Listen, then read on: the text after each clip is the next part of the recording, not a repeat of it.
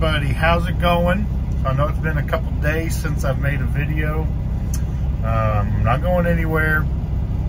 Um, it's just been really, really busy. Um, so I think the last video I made was Friday. Um, since then, uh, of course, I was off over the weekend. And then on Monday, I left Fort Worth and headed out to Abilene.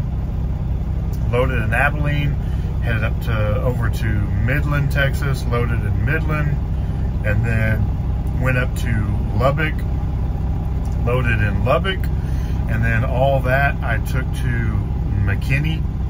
Um, I stayed the night Monday night in Lubbock. Um, I got up and left Lubbock about Tuesday about six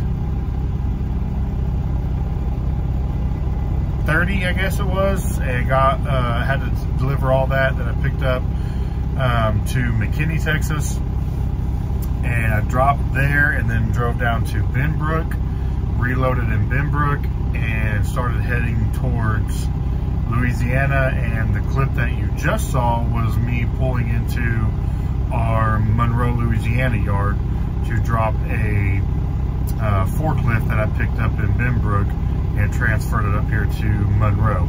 So anyway, um, I'll get out here and I'll show y'all uh, what I've got on my trailer. All right, I'm out of the truck now. So as you can see behind me, got a bunch of equipment back there.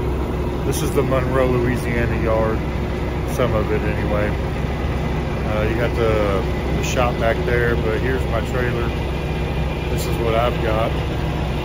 It's a uh, 12K forklift, meaning it has the capability to pick up 12,000 pounds. Uh, so that's what I picked up from Benbrook to bring up here to uh, Monroe. There's just a look at the truck. It's getting kind of dirty. Definitely need to get it a bath here pretty soon. Probably next week. I know over in the DFW area it's raining quite a bit, so I probably won't stop and get it uh, washed on my way in this time. Uh, this is it, it's a JCB, you can see a 1256. That 12 means it can pick up 12,000 pounds and extend out 56 feet. Now I don't think it can extend out 56 feet with 12,000 pounds, but um, I guess that would be for somebody else to to try. But uh, I haven't I haven't unchained yet. I just got here. Um, so I've got my third axle down there, and I think these weigh right at 34, 35,000 pounds. Just a view of the load from the back of my trailer. I've got a lead well, triple axle.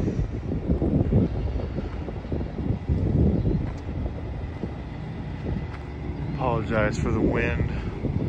This is an enclosed cab air conditioned and heated unit, which is what they requested, it's what they needed.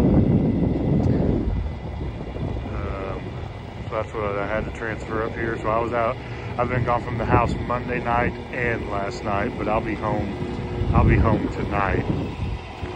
You see over there, that's the main, that's the main office building. Maybe a little spin around.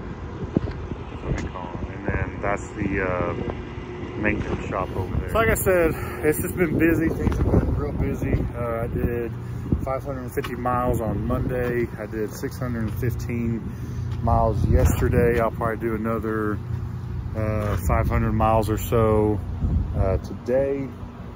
And so it's just been busy. So I got to get this unloaded and then I think I have to go to our yard in Shreveport, Louisiana, load up something that's going down to Bryan, Texas.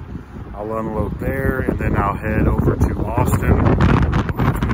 I'll head over to Austin to reload a backhoe to bring back up to Dallas. And that should finish me out for the week and get me home for the weekend. Uh, so that's it for today. Y'all have a good day and we'll talk to y'all later.